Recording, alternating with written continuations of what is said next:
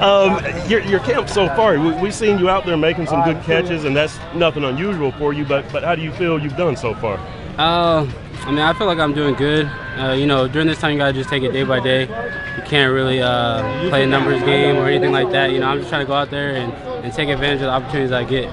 As far as the the off season, um, there was some, I guess, friction. I don't know what you want to call it. How, Yeah. How, how did all that resolve itself? How do, how do you feel right now? Yeah, um, I mean, I don't think it's a secret what happened, but you know, that's in the past, and um, you know, I feel I feel comfortable right now. The coaching staff feel comfortable.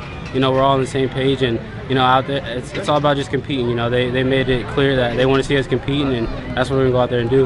How do you think you fit in? I mean, you know who's out there: Kenny Stills, Greg Jennings, Yeah. DeVante. Yeah. Um, I mean, I think I fit in pretty good. You know, it's all about just like I said earlier, just taking advantage of the opportunity when the ball's thrown your way. You know, uh, me being a late round guy and you know competing this this is my fourth year. It's just you know whenever they put me in, I gotta make a, I gotta make a catch and make plays and show them that I'm here to make plays.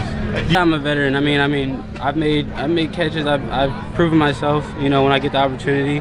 Um, it's all about just coming here and being professional every day and, and showing these guys and getting the trust from your teammates and your coaches.